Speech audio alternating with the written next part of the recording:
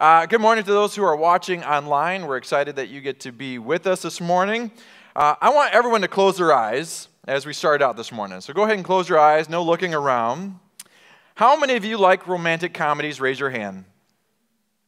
All right, I'm glad that we have everyone's eyes closed. All those men that wanted to put their hands up, they don't have to feel ashamed. Thank you, Kyle, for your honesty. All right, you can open your eyes now. Uh, what is your favorite romantic comedy? Is it Sleepless in Seattle? Is it When Harry Met Sally? Is it Divine Sisters, Secrets of the Yaya Sisterhood? I don't even know how to say the word. Uh, is it the Traveling Pants one? Is it Rocky 1 through 5? I mean, it doesn't get any more romantic than Yo, Adrian. I mean, come on. I used to think that the book of Ruth was the romantic comedy of the Bible. It was the rom com, and I would avoid it. Uh, there's a lot of romance, there's a lot of dialogue. In fact, 55 out of the 85 verses in the book of Ruth are all dialogue. Uh, there is no fighting, no explosions, no zombies, no Chuck Norris jokes. There just wasn't a lot there that would excite me. For the longest time, I would avoid it, and I would rather read Better Homes and Gardens or watch the Lifetime channel than read the book of Ruth. But lately, I've been addicted to it. Uh, I've been reading it a lot. In fact, I was at the beach the other day and I was just reading through it. And it's only four short chapters, it's easy to read through. And uh, in fact, you can spell out the whole book of Ruth with the name Ruth as an acronym. It, it starts with ruin, then there's this dramatic U turn which then leads to true love and hope. Okay? You can outline the entire book with these four words ruin, then there is, oh, we went away already. All right, points over. Ruin, a U turn, true love, and then hope. All right, we're going to start with Ruth chapter 1, verse 1. If you have your Bible, go ahead and open it. If not, it will be on the screen. Trust me, it is accurate. In the days when the judges ruled. This isn't like Judge Judy. This isn't Philip Banks from the Fresh Prince of Bel Air. This was men and women that God sent to rescue Israel. People like Gideon, Deborah, Samson.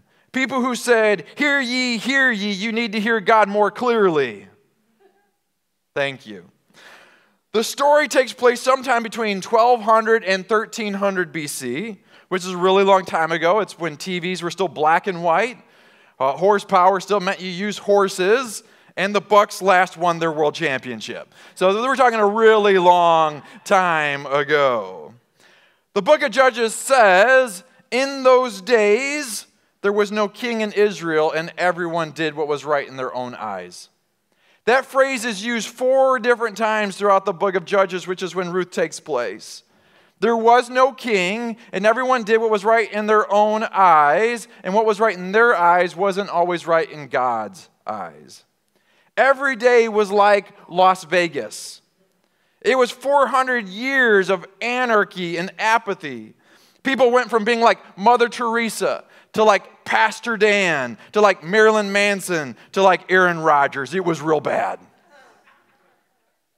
It was this constant cycle of rebellion, ruin, repentance, and rescue. And each time the cycle got worse and worse. But we're often guilty of doing the same thing.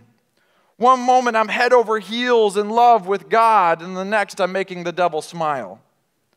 I say something I shouldn't, I think something I shouldn't. I just thought something I shouldn't. But I'm not going to say it. We all struggle to stay in line and in tune with God.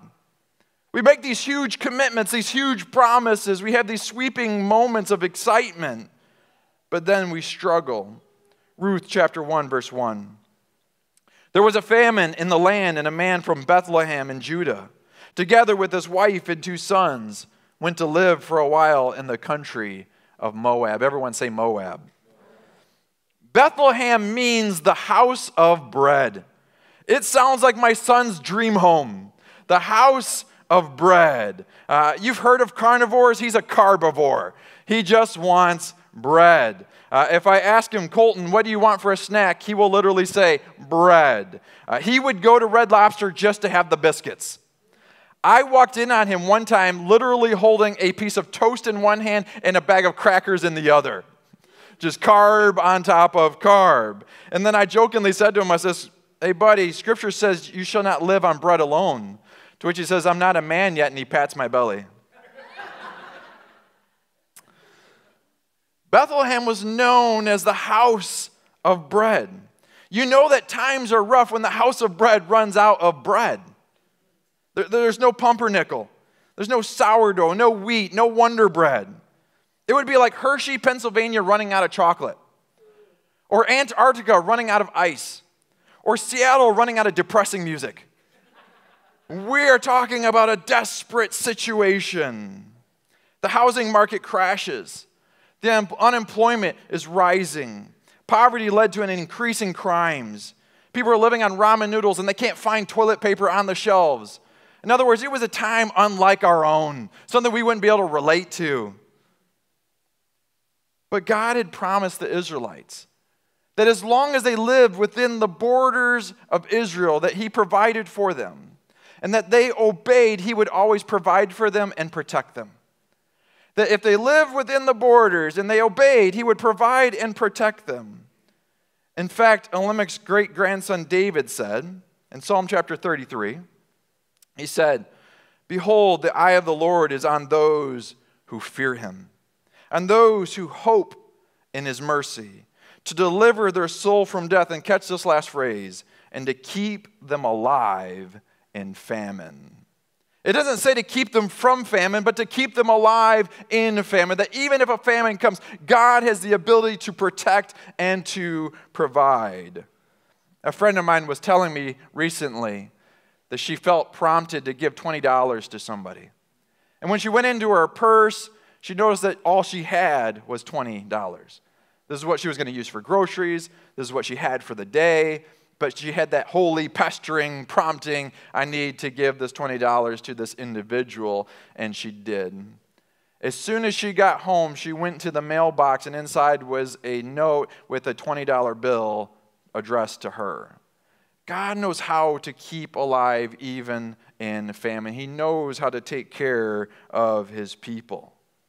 David also says in Psalm chapter 37 The Lord knows the days of the upright and their inheritance shall be forever. They shall not be afraid in the evil time, and those times will come. And in the days of famine, they shall be what? Satisfied. Even in the days of famine, they shall be satisfied. I have been young and now I'm old, yet I have not seen the righteous forsaken, nor his descendants begging bread. Elimelech doesn't trust God to hold up to his end of the bargain. He doesn't trust God to take care of him and his family. Rather than dealing with the root problem of why is there a famine to begin with, which was often God's way of getting their attention to say, hey, something's going wrong in the nation, something's going wrong in the land, you need to repent, you need to return. Rather than seeking God, he goes and seeks help elsewhere. Rather than repent, he chooses to run.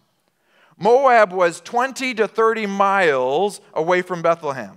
That's if Naomi was driving. If it's him, it's like 300 miles because there's a lot of circles taking place. I want to show you a picture Bethlehem and Moab. There you go. It was just on the other side of the Dead Sea. It could re- be reached within a couple days' journey, but morally, it couldn't be further away.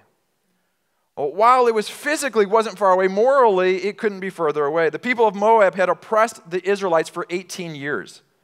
They had oppressed Israel. They served a god, Chemosh. There was child sacrifice, temple prostitution. They didn't celebrate important days like Pastor Dan's birthday. It was a wicked community. Ruth chapter 1, verse 2. The man's name was Elimelech, his wife named Naomi. And the names of his two sons were Mahlon and Chilion. They were Ephrathites from Bethlehem, Judah, and they went to Moab and lived there. Now, I know some of you are looking for potential baby names for your kids, your grandkids. May I suggest that you don't choose Mahlon and Chilion because it would be like calling your kid swine flu and athlete's foot. The meaning of these two guys' names is awful, and, and I will explain it in a minute, okay? But there, there's a picture that's being outlined for us, even in the names that are being given going into the book of Ruth. All right, so I'm going to show you a picture here. So you start off with Elimelech, which means the Lord is my king. Then you have Naomi, which means pleasant. But then you have Mahlon, which means sickly. And then you have Chilion, which means death. Not the names you want to give your kids. But the message is that when God stops being your king, things can be pleasant for a little while. Sin is enjoyable. There's a reason why people do it. At first, it can be pleasurable, but then it leads to sickness and death. It starts off with God as king, but then they take matters into their own hands. And at first, it seems pleasant, but then it starts leading to death. And we will see that in the text. You see, we justify our actions by saying, I'll never let it get that far. I have more self control than that. I'm just going to look, not touch. I'm just going to try it once. I'm just going to skip this week. I'm just going to see what the big deal is.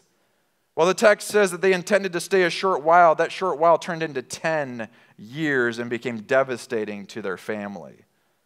Sin will take you further than you want to go and cost you more than you'll want to pay.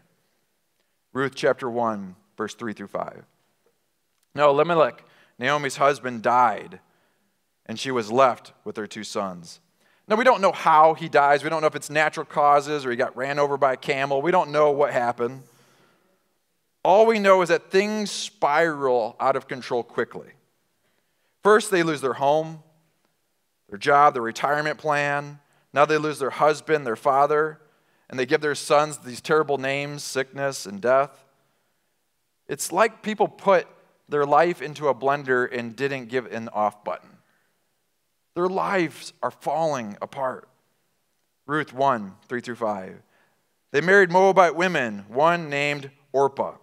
Just a little aside, on the Oprah show a few years ago, she was explaining that she was originally supposed to be named Orpah. Her mom wanted to name her after the biblical character, but on the birth certificate, the letters got mixed up and she became Oprah. So, for those of you who are best friends, refer to her as Orpah from now on. Okay, there you go. The only thing some of you will remember from this morning. Ruth chapter 1, verse 3 through 5. And the other, Ruth. After they had lived there about 10 years, both Mahlon and Chilion also died. And Naomi was left without her two sons and her husband. To understand how desperate this situation is, you have to understand the context. You have to keep in mind that typically when a woman became a widow, she didn't have very many options. Either she had to remarry, she had to move in with her mom and dad, or she was taken care of by her sons. None of those were an option for Naomi. Her situation seemed helpless and hopeless. There was no Medicare, there were no retirement homes, there was no Walmart hiring older people to work for them. Ruth chapter 1, verse 6. When she heard in Moab that the Lord had come to the aid of his people, providing food for them, Naomi and her daughters in law prepared to return home from there. Elimelech went seeking what the Lord in his own time was already going to provide in Israel. He went to Moab trying to find what God was already going to provide if he would have just trusted. There's a way that seems right to a man, but in the end it leads to death. And some of you, like Elimelech, are experiencing some rough stuff and your temptation is always to run. That whenever life gets hard, the first thing you do, your knee jerk reaction, is to run. Metaphorically, of course. Most of us are too lazy to actually physically run. We actually had a bat in this building a while ago. There was like a Bible study that was taking place on a Monday night. Bat came in, one person bolted. Like they were here, then they were out the door. Like Usain Bolt was looking at the security footage, seeing how he could run faster. Like this person ran so fast. Jerome didn't budge. It just looked at the bat, daring it to come at him, and like, like if the bat would have got closer, like his eyebrow would have hit it because he was like frowning so hard. Like, like you guys know, like Jerome, how he can frown is like he's about to take that bat out with that eyebrow.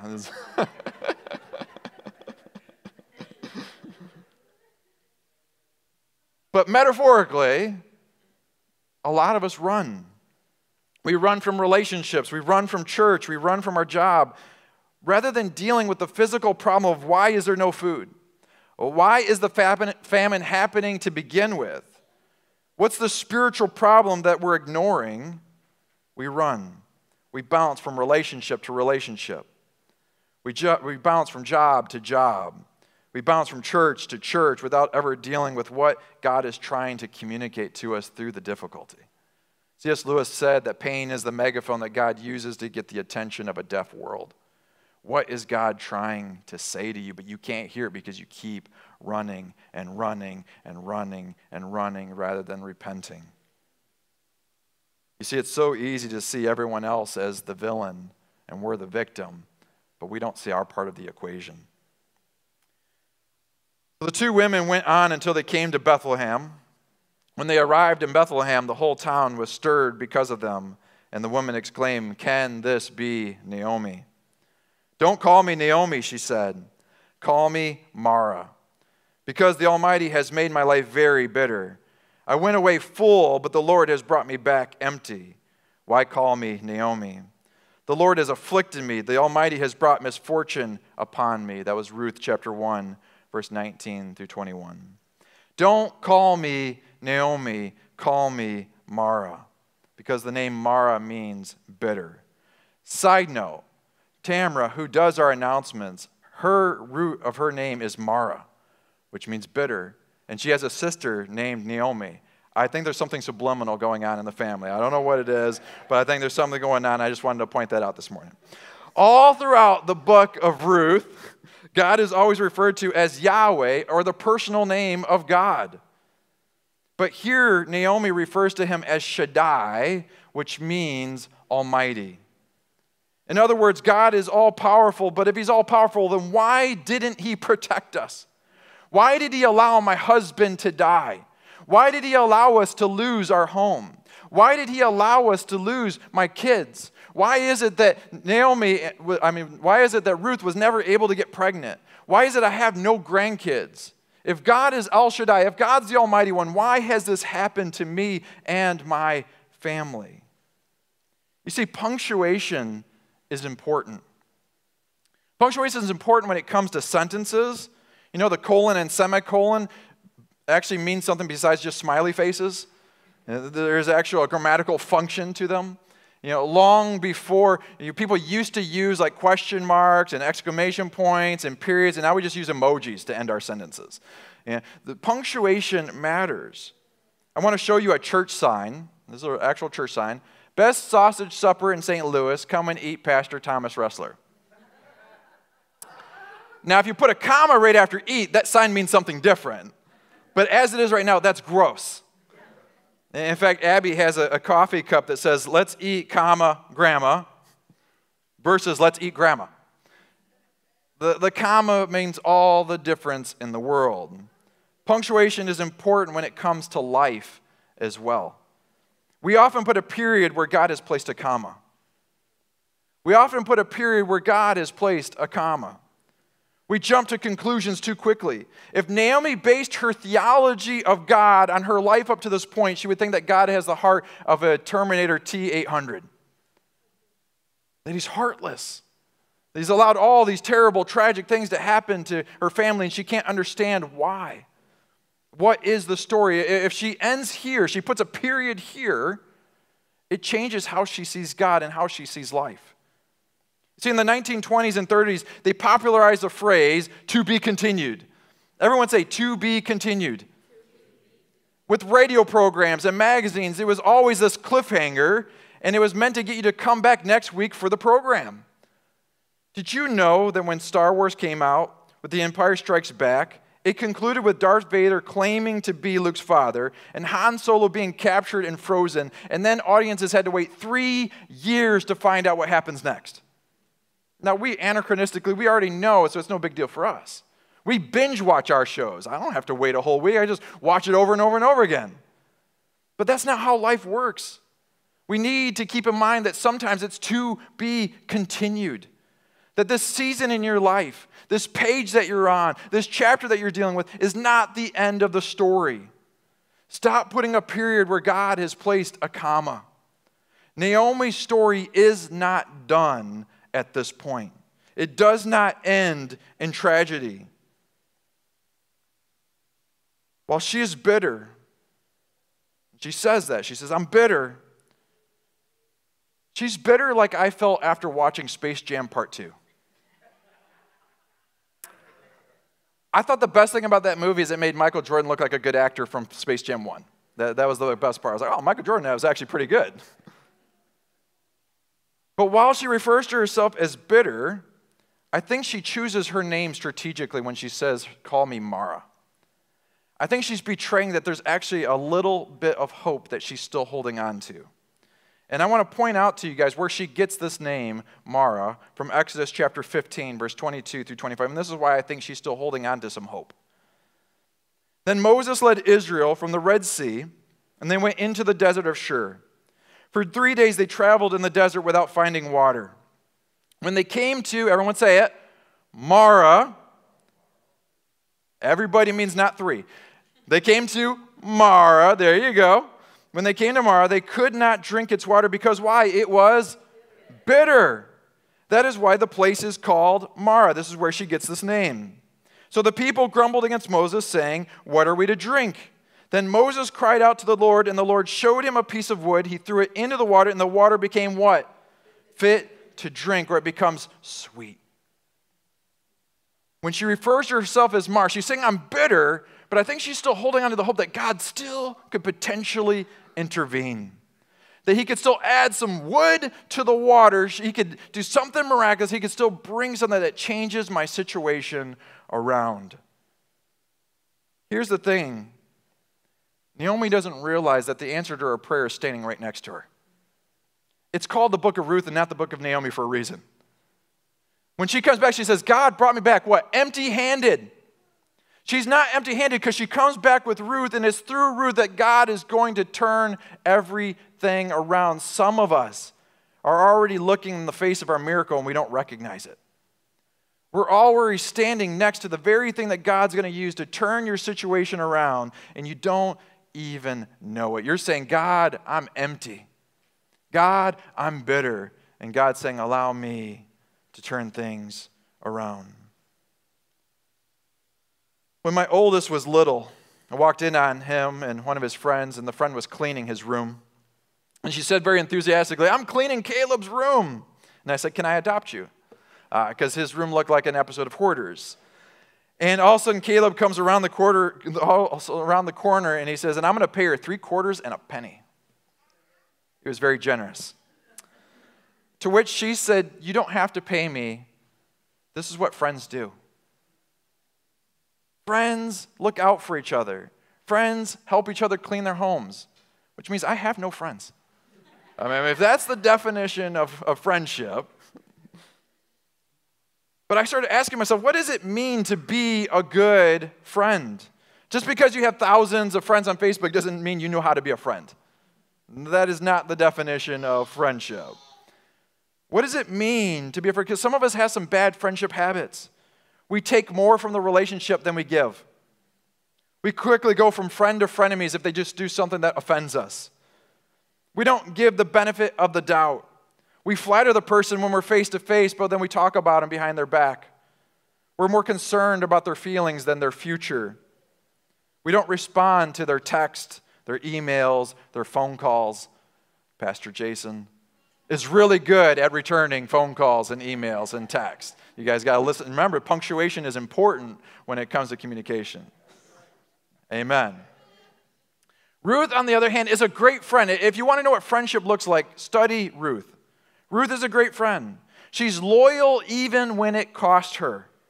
She invested even when it looked like she would not get anything out of it. She goes with Naomi to Israel even though she's likely to experience racism, poverty, loneliness but her loyalty is going to be richly rewarded. In Hebrew, in the Hebrew Bible, the order of books are actually different. Did you know that Ruth comes after Proverbs 31? Proverbs 31 talks about the woman of noble character, and then you have the book of Ruth that shows what a woman of noble character looks like. In the midst of all this unfaithfulness during the book of Judges, all this unfaithfulness, you have a woman who shows what Hesed faithfulness looks like or the faithfulness of God looks like. But here's the deal it's easy to be obedient and faithful when everyone else is being obedient and faithful. But can you do it when you're going against the grain and no one else is being faithful? Think about what Ruth risked to follow Naomi. First of all, Naomi describes herself as a bitter woman. How many of you like to hang out with bitter people? Nobody's hand went up. That's not the person you're inviting to your birthday party. When a person is constantly complaining, it's draining. You don't want to be around that person, right? A big game hunter went on a safari with his wife and mother in law, and at night, they went to bed, woke up the next morning, and the mother in law was missing. And the wife's freaking out. She's like, We got to find her, we got to find her, we got to find her. So he grabs his rifle, and they're going to go out and they're going to find her. And to their horror, they discover that there's this big mountain lion and then the mother-in-law is up against this boulder and she's trapped. The mother's like, and then the wife is like, what are we going to do? And the man's like, nothing. The lion got himself into this mess. He's going to have to get himself out of this mess. I mean, he's on his own.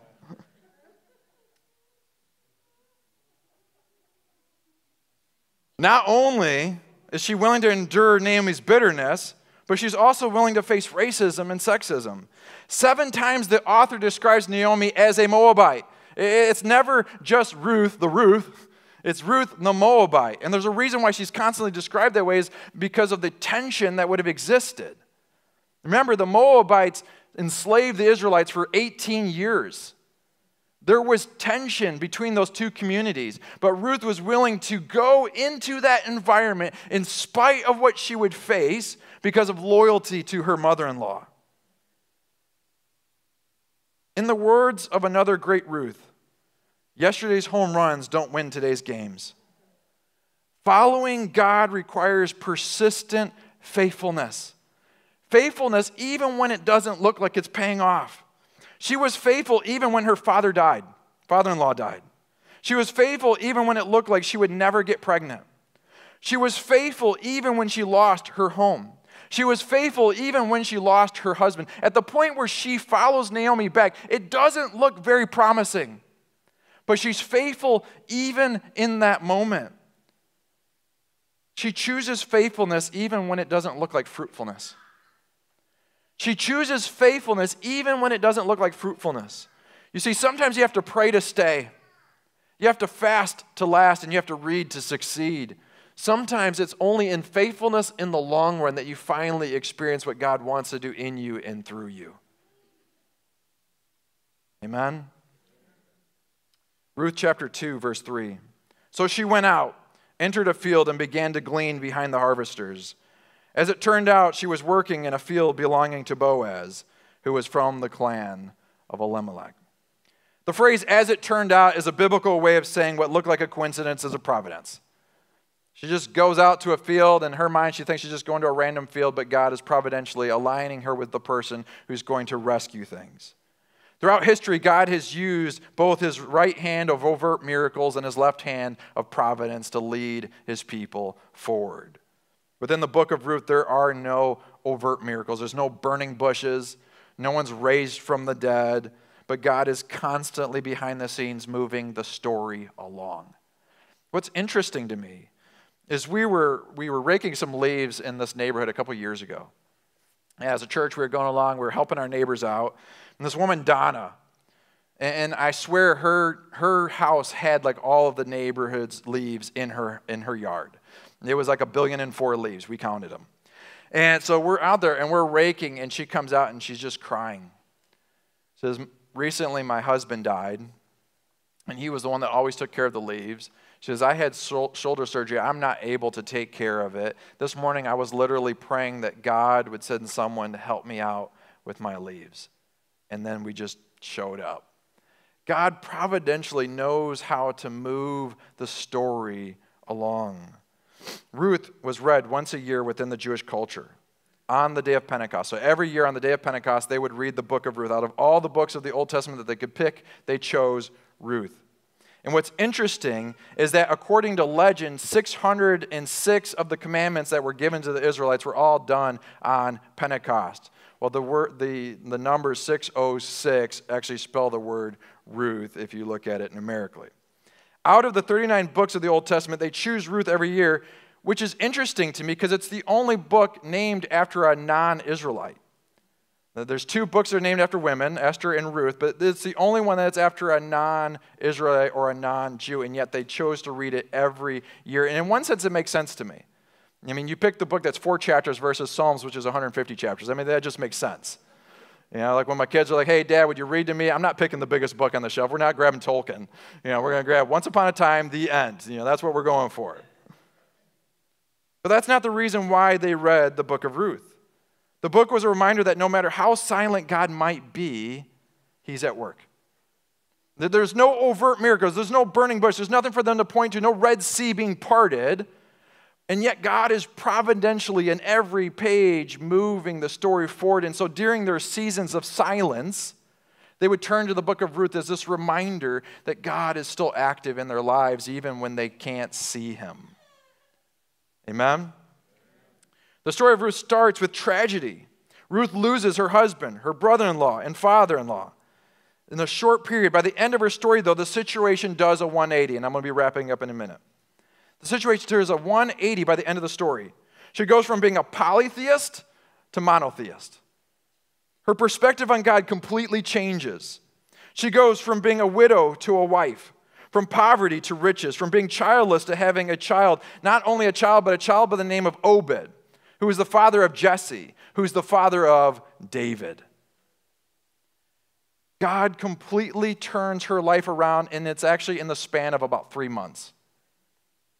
In three months' time, God takes Naomi from being a bitter woman who says, God brought me back empty, to a woman who is bragging that Ruth is better than seven sons. That's a huge compliment in that culture.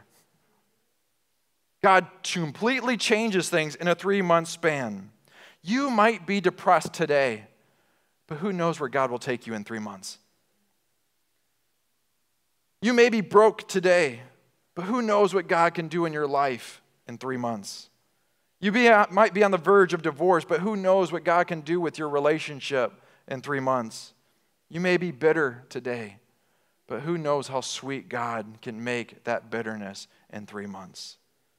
Don't put a period where God has placed a comma. Don't judge the miracle while it's still in process. Don't put the story away until God has finished the book. Your life isn't over.